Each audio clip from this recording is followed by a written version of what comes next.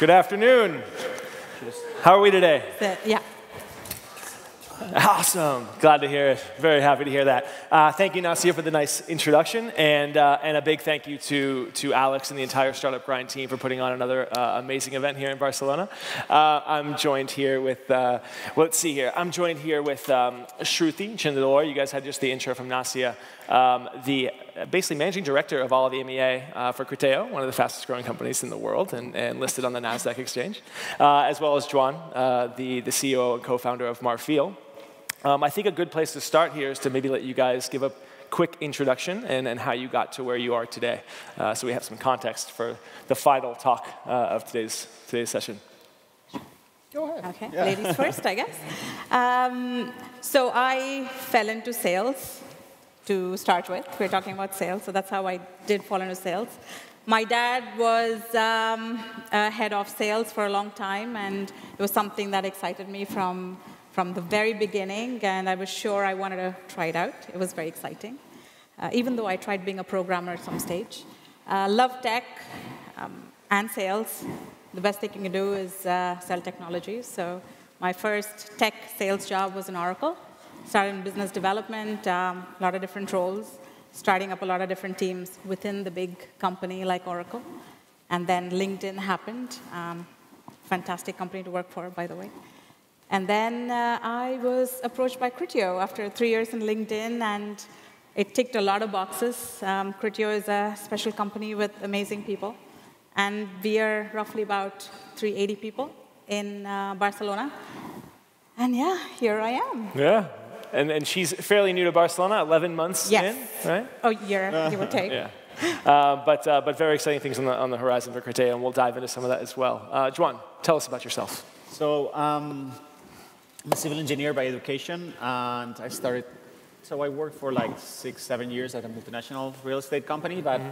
I didn't really like it, you know. So it, mostly it was about any new idea I had. It was like, oh no, London wouldn't let us do that. Oh no, Chicago would not like this, whatever, right? So I thought, I want to do my own things, right? And I decided to take an MBA, so I started here I decided Um, I took a part-time MBA, mm-hmm. and then when I finished, I, I, started my first company. That was back in 2006. It was called Bongo. Um, it was one of the um, well, it was the first um, gift experience, uh, gift box experience company wow. in Spain. Yeah. Ahead of your time. in a way, in a way, yeah, yeah, yeah. And there weren't events like this back then, so I didn't know how to do it or whatever. And even yeah, I had taken my MBA, but maybe I forgot attending some of my classes because I didn't have a shareholders agreement, right? So at some point, my, my partners, they sold their shares to one of our competitors in France, so I was basically left alone uh, fighting with my enemy, right? Or my sleeping with your enemy, as, as, they say, right? So then I find, well, um, they, find, they fired me, then I, well, we went to, to trial, and Oof. in parallel, I started a, a new company, which was uh -huh. called Plan B, which was course very very fitting name. exactly, right? The name was easy, right? So and it was basically the same. The, the, the business is growing like crazy. So in, in, in two years we went from zero to 15 million euros in revenues, right? So I, there was something there. So I started again a gift experience company called Plan B. And then that one I sold it to the Barcelona group, the mm-hmm. um, tourism group here in Spain, uh, three, three years later. And that's when, right then, I met Xavi, um, who had started this tech company who was basically helping publishers, but mm-hmm. he needed someone helping him with the operations part, the business part of everything, right? So he, he was he had been coding for a few months, and that was about it, right? So I said, listen, I can help you. I have I just sold my company, so I have some spare time. Uh, so I said, I'll come to my office, and I was like, okay, I'll come. So soon it turned from oh, I'll drop by every now and then to a full time job, right? Mm-hmm and that was 2012 and yeah it's been seven years eight wow. years now so. Amazing. So it started almost as an advisor and then kind of graduated into into the full-time uh, yeah. uh, role. Um, and and just for a little bit of background my name is, is scott mackin. I'm the chief commercial officer of one cowork uh, one of the fastest growing uh, co-working companies here in spain. We're actually about to launch our third location. Uh, and today's talk is all about sales specifically sales for startups. So this is a very relevant space uh, that we could probably all gain some value and some insights from. So so basically maybe just to start start us off, um, you know, why, why is sales so critical, especially for startups in the early stage or the growth stage of their life cycle? Uh, first of all, uh, a big uh, salute to those of you that work for yourselves and start your own companies. I don't have the guts yet, but someday. Mm -hmm. um, so sales for startups is not just essential, but critical. What happens is when you have your own solution and, and you try something new and you build this lovely product or solution, it sort of takes, takes over you, right? Um, for the want of a better word, it's almost narcissistic. So you can get a little bit lost in your product, and it's fair because it's your idea, it's, it's fantastic. But if you don't think of how you're going to sell your product, it's not just the go to market, but actually have a structured plan in terms of how you're going to sell your product and create those revenues you may get rejected by some uh, companies that you're looking for them to fund you. So it's the way to guarantee uh, funding, one way to guarantee funding is to show revenue streams, and that is sales. Yeah, absolutely, absolutely. Juan, and maybe you can speak to your experience too with Marfeel, um, how, how you implemented sales, a sales culture early on. Wow, yeah, it's a difficult one. Uh, I don't know. So at the beginning, basically, and, and as, as you were saying, right? So sales is, I mean, it's what keeps the company going, right? Because mm-hmm. at the end of the day, you can raise so much money from investors, and if you don't sell, at some point they will stop financing you, right? So if you want to run a business long term, you need to sell. That's as simple as that, right? So at the beginning, in our case, of course, we, well, I don't know how familiar you are with Marfeel, but basically we sell, we're a B2B product for uh, online publishers, right? We help publishers basically uh, engage, monetize, and create their mobile uh, pages, right? So it was, it's kind of a pretty technical product to sell, and it's a hard sell for, uh, or it's, it's a hard decision for our publishers, our clients, because for them it's a big change, right? So when you need, we thought at the beginning, we thought, okay, we need the technical, we need the smart people, whatever, so we hired a few MBAs, and uh, that, that, that was a bad idea, right? Because all of them had their own preconceptions. Oh, no, no, this is not going to work. You need to do this, you need to do that. And it, it was terrible, right? So I, any one of the original Marfeelers, we could go and sell easily. For them, it was like everything was complex. The product was never re ready. So it was, it was, you know, it was a bad call.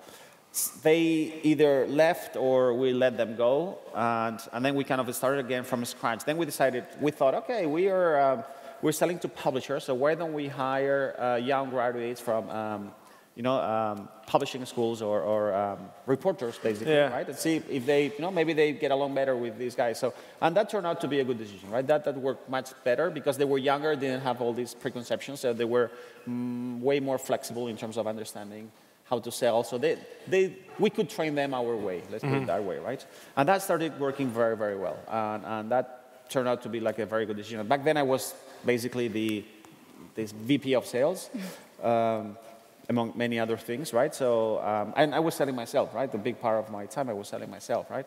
And that helped us create the product, uh, the product to the to the market needs and mm-hmm. all that. And, and little by little, now we have a much bigger sales organization. Of course, now we have in sales we have around 40 people right now right? Wow. so it's yeah so it's now it's way more structured so we have well i don't know if, i guess we'll go into the detail later but yes now we have specialized teams on different phases of the sales process yeah. Well, well, let's, let's stay with you on that on that note because i think that's a really key point is with startups it's it's the timing right? Is is the product ready to put a sales team behind it? And, and up until that point the founders are the are the sales team yeah. right? Uh, so at, at what point did did marfeel say okay now i think we're ready to bring bring in the, the MBAs. That didn't work out, so we went a little more junior, people yeah. with ad sales, publishing experience. Um, but what, you know, how did you actually think of like the organizational chart? And, and did you kind of build the map of what you want and the key pieces? Or did you just kind of let it organically develop from the ground up? In terms of sales, Yeah, the sales, the sales organization at Marfeel. Yeah, so I read and I really highly recommend the book uh, by Jason Lemkin. Um, well, there's two books, um, and basically we follow that. You know, we follow. Which that. book? Um, both of them, uh, predictable revenue, and the other one, frankly speaking, I forgot the title, but it's, it's more or less, one is the evolution of the other, okay. right? So, but predictable revenue is kind of my Bible, right? Okay. We, we followed it like step by step, basically, right? So, so we have a team of BDs, business developers, who basically source for uh, leads. They look for leads, uh, potential prospects, candidates to become clients. They warm, warm them up. And once that lead is, is hot, is warm enough, for us, warm enough means that the person we're talking to is a decision maker or mm-hmm. is relevant to the decision. Um, they fit within our sweet spot in terms of size, and they're interested. They want to know more, right? Sure. Then they pass it on to, account, to the account executives. And, and then we have a team of 12 account executives, I believe. And what they do basically, their job is to close the business, mm-hmm. right? uh, to close the deal. And then once the deal is closed, uh, it goes into the go live process, the go live team, which is uh, there's some technical, um, you know, there's some integrations that needs to be done. Um, but then it's more a technical process, right? Okay.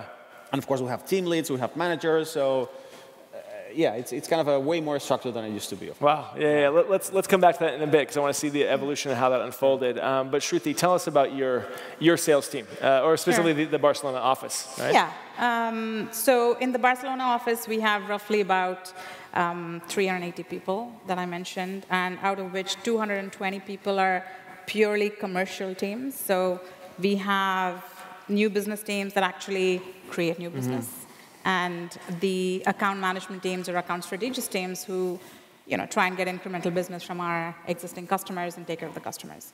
So um, very similar. We are going to start with the BDR team from a career pathing for leads. But another important investment we've made recently is we are using a part of our own technology in terms of artificial intelligence to um, automate leads. So lead nurturing, uh, trying to find leads, etc. It was from a team in Barcelona that actually put this together, so I'm very happy about that team. And once you go through the whole process, like warm leads, mm-hmm. nurture leads, it goes to the sales team, mm-hmm. they qualify, and integration, because we're in a similar industry as you and then you know it goes to the account strategists. Okay, so this when, when I hear lead nurturing and I hear uh, automating leads, I hear sure. marketing. I don't hear sales. Uh-huh. Uh, so so is is there a marketing oh, team? Sure, sure. So or do we not say that word up here? let's let's talk about some truths here. One tip for startups is yes, marketing is very important. Don't put all your money in just marketing, right? Sales is a function where you need to head on convince customers to get your product. No matter how warm the lead is, mm-hmm. even though a lot of customers today pretty much know what they want, by the way, they're very ahead in terms of what's available in the market, you will need to really face the customer and convince them about mm-hmm. your product. And don't wait for your product to be perfect. I'm sure you all have great product development teams, but it has to be a commercially viable product. Yeah. The, these are two different things a product that's perfect and a product that's commercially mm-hmm. viable. Mm-hmm. And um, it's evolving. The relationship between sales and marketing is right. evolving. And it is definitely both are very necessary, but make sure you divide enough into hiring hungry, result oriented salespeople uh, who want to make money for your company. Yeah, no, definitely. And, you know, I think, I think Criteo is a bit more evolved than, than most of the startups, sure. the, the, founders or, or, the employees are in this room.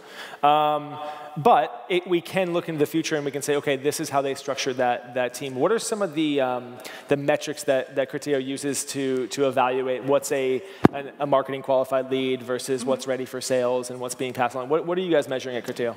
So um, it depends on the market, it depends on the product or solution we want.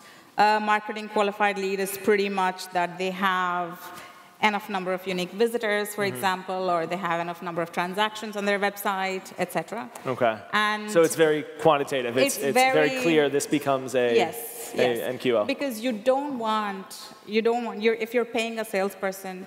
You want as much as possible their time not to be wasted in trying to call the wrong prospects. Mm-hmm. So qualified prospects is a very important uh, part of your of your sales process.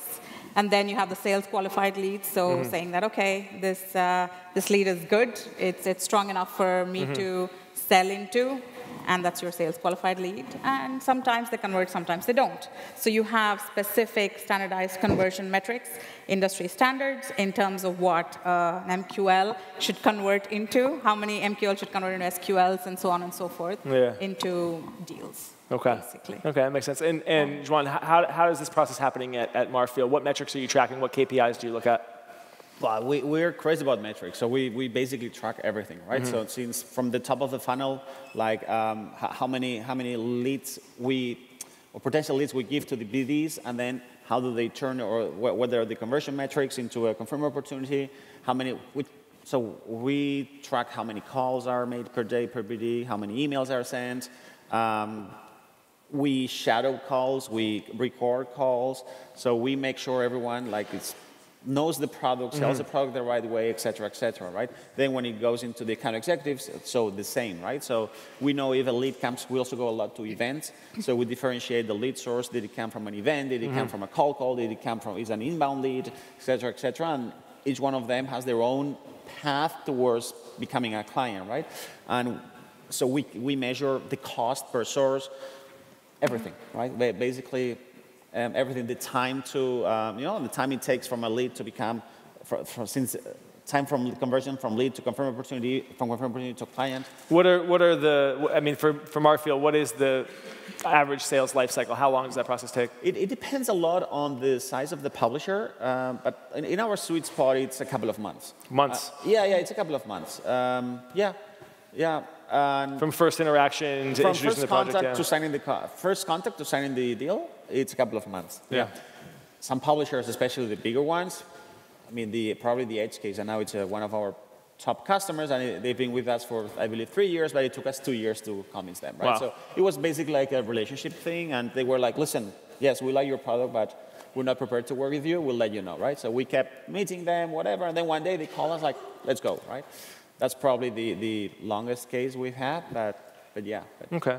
Uh, you mentioned that you, you, you still are engaging in, so this is, it's been a few years since I've been, been on the phones, uh, but you said your, your team is doing cold calls, right? Yeah. Okay, so, so um, back, back in my day of smile and dial, uh, we used to try and hit 100 calls a day. We were, we were, in, uh, we were in IT staffing and consulting yeah. and, and, augmented labor. Um, 100 calls a day was a lot. That's a, yeah, 100 is a lot. So, so what, what, what are, what's, a, what's a normal day for, uh, let's say, a junior level salesperson? How many calls are they making? How many emails they're sending? Okay, um, thing is, even though we're still doing cold calls, it's now a small portion of our, of our sales efforts, right? Or, or, or, or of our lead generation efforts. I think it's 6% if I'm not mistaken, right? That means there's a lot of other things going on mm-hmm. uh, that convert way better, right? So we have an email automation tool that basically warms up leads, and whenever a lead is ready to go, uh, we have different parameters like, okay, if this happens, that happens, that happens, now is the moment to call the guy, right? Yeah. And then it's, it's a call call, but it's not really a call call. The guy already knows about Marfeel, right? And then the conversion rate is way better, right? If not, of course, you get a lot of people like, hey, I'm, why are you calling me? So, right. I'm so busy. This is not the right moment, right? So yeah literally cold calls is, is so it's a hard sell. Yeah, no, absolutely. Um, I mean, you're interrupting their their day. Basically, to, exactly. Yeah. Whatever, even if he's playing tennis. Yeah. Well, it's good to hear that those that the percentage has gone down. Back then, we just plow through that and just keep yeah. keep dialing. Um, Can but, I just add to that? Yeah, absolutely. So, if if you are a startup, early stage startup, please invest in LinkedIn Premium uh, why? Not because I work for LinkedIn and I love the company. You still have uh, shares? Because it works. so um, with the LinkedIn Premium account, you get a LinkedIn Sales Navigator option. So this is your own little online social-based um, CRM. Sort of a CRM. I'm not officially supposed to say that, but yes, right? so you can. That's because that's the ex LinkedIn in you saying, yeah, oh, it's not a CRM. I'm sorry, it just doesn't get out of my system. It's hard. So um, you have your own basically view of all the companies you want to target. You can filter the way you want. You can nurture the way you want. You have a limit of emails you can send a day.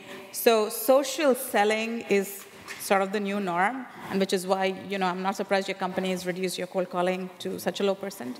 In Criteo, we're still doing a lot of cold calling, but we're getting there in terms of social selling.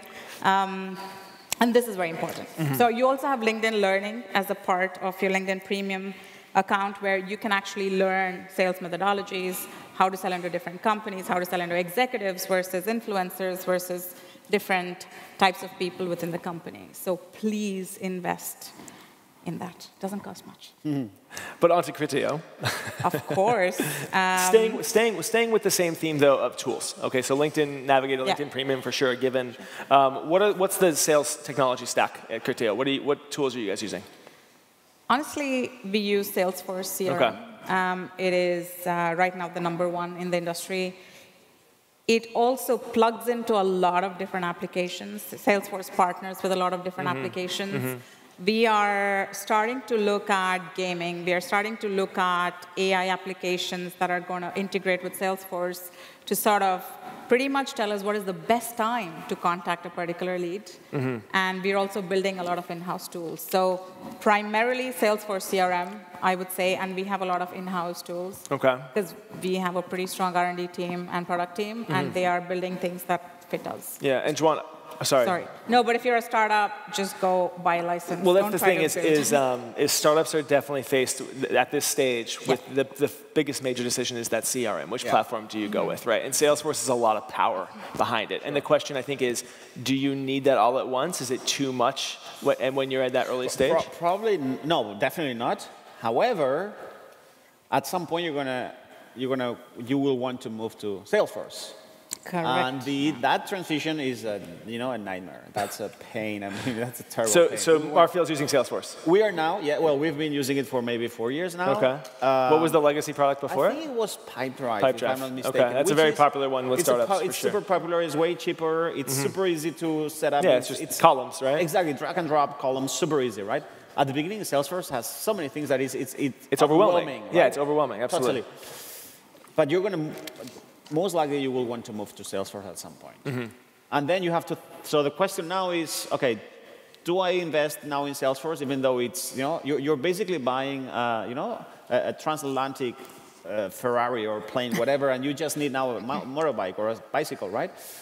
But when you want to move from one to the other, that's a pain. Yeah. So, so you have to be ready for uh, an implementation and, and a transition, right? I mean, this it, it, it has to go through the entire organization pretty much. So when's the moment that you do that? In our I think you, you feel it, right? At some point, it's like, okay, this is it, right? There's, uh, because you then you start needing, like, exactly right. as you were saying, integrations with third parties, or you're starting functionalities that the other system doesn't support. You're, so at some point, it's like, if you want to grow big, uh, you need it, right? Mm-hmm. Also, it's not my case, but I've heard some of some friends were like, okay, tell me what you're doing with Salesforce that you cannot do with A, B, and C. Mm-hmm. And maybe, and, and more and more SaaS companies are, and small CRMs or smaller or less popular CRMs, they're getting more and more sophisticated. So it is also true that maybe it's not the case anymore. But in our in our experience, it was kind of easy. Also because on sales, everybody uses Salesforce, right? So people will know how to use it, and you you will hire a new whatever CMO or a new VP of sales. Right. And, and, the guy's like, oh, but we need Salesforce because this is what I know, this is how I can get my reports, this is how I can connect. So it's kind of the standard in the industry. Everybody uses that. Mm-hmm. So that's also another selling point that they have. Find something that can easily port into Salesforce. That's also. probably the mm-hmm. second option is find something that can easily be transferred to Salesforce. No, definitely, definitely. It seems to be the industry standard. And then it, as far as attracting uh, key talent, they're going to want to come with something familiar with that they know that they yeah. can use from yeah. day one. Yeah. Um, in, in Marfeel's case specifically, how long was the, was the how painful was the tra- implementation process? How long it, did it, it take? Was, it was painful. So first thing we did, we, we selected a few consultants to, to work on that. Mm-hmm. And the, our favorite one was like, oh, do you have some references in the world? Yeah, I've worked with this, this, and that other company. And one of those companies, I, am, I used to be an, an investor, a business angel in that company. So I called the guys like, hey, um, I heard you work, you work with these guys. Would you recommend them? He's like, definitely not. All right. So I'm not working with It's good to have honest yes. feedback. So we, so we ended up doing, doing it ourselves. Really? Yeah, yeah. Wow. With Salesforce support online, yeah, helping yeah, you configure yeah. the platform. Some Salesforce support, but a lot of, yeah. yeah. At the end, it's exporting and importing. If you, in a way, it's I mean, being a tech company is not that difficult. And right. The thing is, it's it's not that we're smarter than other people, but we need we need it, you need to explain them exactly how you use it, what mm-hmm. you use everything for, and how you want to set it up. Mm-hmm. So at the end, it's like okay, it's, it's it was more complex, kind of making them understand what we needed, how we were right. using it, than just doing it ourselves. Yeah, I think I think that's a, a, very common problem a lot of companies will face at a certain point. They reach a ceiling of, of when they the current CRM isn't really cutting it, and they need to evolve to Salesforce. And then it's that moment that they need to worry about the implementation and, and planning that, having internal stakeholders and external support for that. Um, be, beyond Salesforce and LinkedIn, any other tools uh, or, or, platforms that you're leveraging for sales?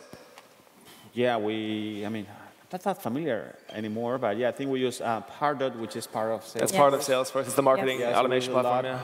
We used to use Yesware for tracking emails. Mm-hmm. I think we're now using something different, but I don't remember what it, we're using. Um, I don't remember what tool we're using for recording calls. But um, yeah, but I think those is kind of the basics. Yeah. Nice. nice. Any if you're tools? in a consumer-based startup, use Facebook. Like I know if you're, I don't know, if you're a salon, for example, mm-hmm. Facebook is just simply one way of revenue. Yeah, and, and, they're starting to roll revenue. out. They're starting to roll out Instagram uh, yeah. sales tools as well as WhatsApp sales tools as totally. well. Uh, we see a big push with uh, WhatsApp for sales, WhatsApp for business. Yes. It's true. Some people find it aggressive, though. Um, yeah. Personally, myself. Well, yeah. Well, WhatsApp is a very personal platform, right? It's where you talk to your friends, your exactly, family. It's exactly, not really necessarily yeah, work. Yeah. Um, but if you are a B2C company, or if you are, let's say, a small business working as a salon or a yeah. spa or something, people want that, you know, to book an appointment or things yes. like that. Um, so no, it, will be interesting to see how these how these tools evolve. Um, okay, just shifting focus back to um, you know, we want to provide practical kind of best, best practices and, and engagement, things that you guys can actually take with you.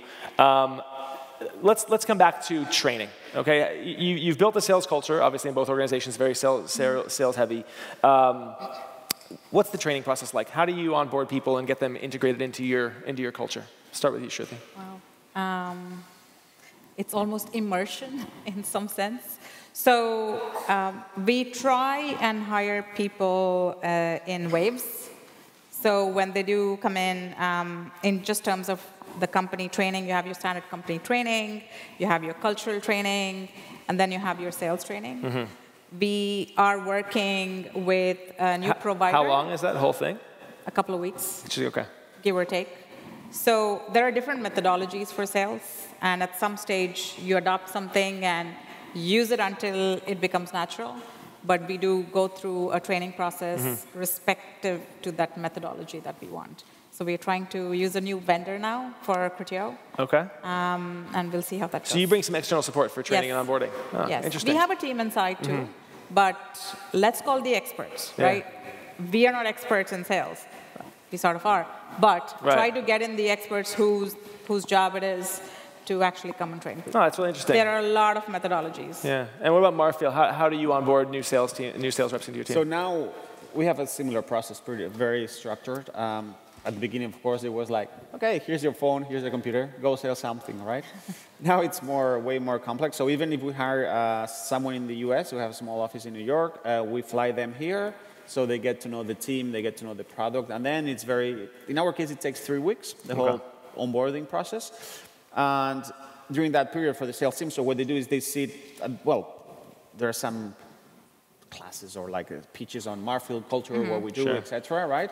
Our size, our top customers, etc., etc. Also, we have a, that's also interesting. We have a, an internal Wikipedia. We call it Atenea, where there's everything's like documented, so they can also work on you know read functionalities, why we do this, why we do that, etc., etc. Then they sit with different teams, so they understand the whole process from from no matter what position of sales they have, they, they, they, learn from BDs until closing, and then they go live, so they understand the full process. And we also do a lot of role plays, a lot of mm-hmm. shadowing, mm-hmm. right? Uh, so they shadow the first, you know, the, the, the, more senior guys. And then also every new hire has a, uh, it's a buddy, right? We call him a buddy, right? So it's someone who's like more or less on your level. A mentor, sure. You can relate to, they yeah. take you to lunch or whatever, and they help you around, right? Also like simple things like yeah, no, how smart. to get an apartment in Barcelona, where to live, those things that, if, especially if you bring people from outside, right? So it's, it's, it's important to, to walk them hand in hand, right? Yeah. So they, they are lost in a new city. So no, definitely. There's, there's more on board than just the work aspect. There's yeah. the, the life aspect. Absolutely. Um, I wanted, there's something I really want to cover because this is a, this is a, a, a process that gets tripped up, trips up a lot of startups. Is the commission structure? Uh-huh. How do you build a sustainable uh, and scalable uh, incentive plan? Uh, Shruthi, do you want to start how Criteo does it? Sure. So surprisingly, many big companies also get that wrong. Yeah. Uh, you need to find the best balance in terms of um, having the revenues, having the right rewarding system, having the right incentives versus profitability. So if you're trying to sell a product that is worth 1K, you don't want to be spending commission of 3K or 5K, right? right? So you have to find the balance. Um, in, in Criteo, we have sales operations whose job is to find the right mm-hmm. commission plan based on historical data, etc. If you're an early stage startup, uh, my recommendation is try with a percentage of the sale as commission. Try with the who? A percentage of the sale. Okay. So that's sort of safe, you know, if, if somebody's selling 10 grand or 100 grand, you're still, you know, sort of rewarding them with a percentage of the sale. And that's easy. If you have the right hungry person uh, with you, then they will sell. Yeah. Well, if you have the right person, they can really take advantage of that. Do you put caps on commissions? Uh, we do.